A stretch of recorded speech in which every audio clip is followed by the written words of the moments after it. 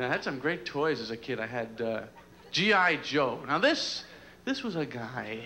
I wanted to be like him. You know, I mean, he, he had, I mean, you, that physique, the body, tremendous shoulders, arms, legs. Of course, there was one thing that G.I. Joe's body did not have. That little scar on the face was not the only injury, it turns out.